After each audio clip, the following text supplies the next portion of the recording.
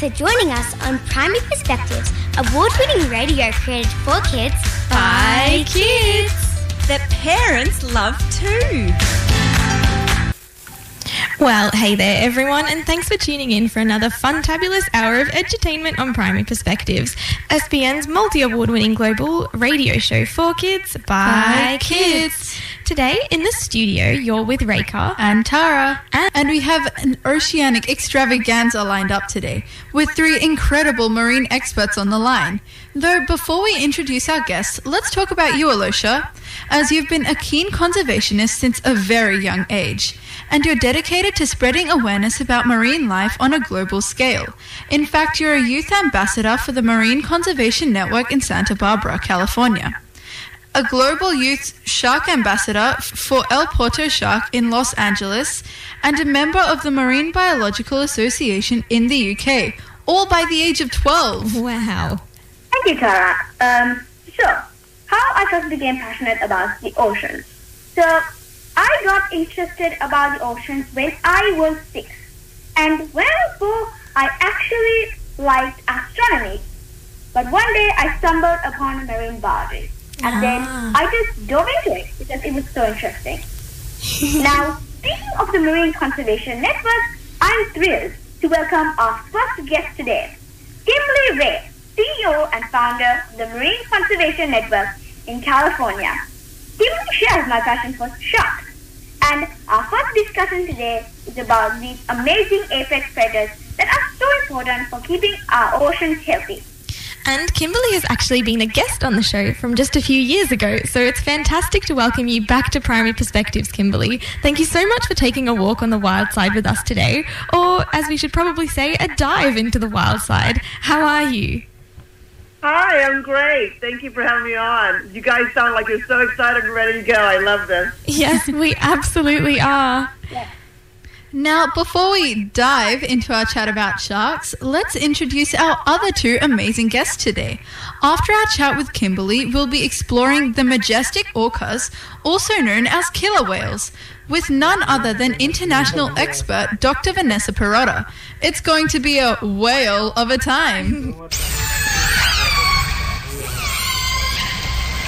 Woo! Wow, how did whales get into the studio? I don't know, Alosha. They must have snuck in. I see what you did there. And then to wrap up the show, we'll be speaking with marine ecologist and animal physiologist Dr. Adam Downey, who will be shedding light on the delicate balance of marine ecosystems and why they are so vital to our planet. I'm really looking forward to learning so much on the show today. So let's get started with our true champion for ocean and marine conservation. so, Alosha, we know you really love sharks and know a lot about them. How many different species of sharks are there, and what are some of the most common misconceptions about them? Well, I do love sharks. Also, there are 500 known species of sharks. Wow. But the number might change as, yeah, as new species are discovered. So a couple of misconceptions about sharks include that all sharks are dangerous. This mm. might be true for a couple of species like the great white and the tiger shark.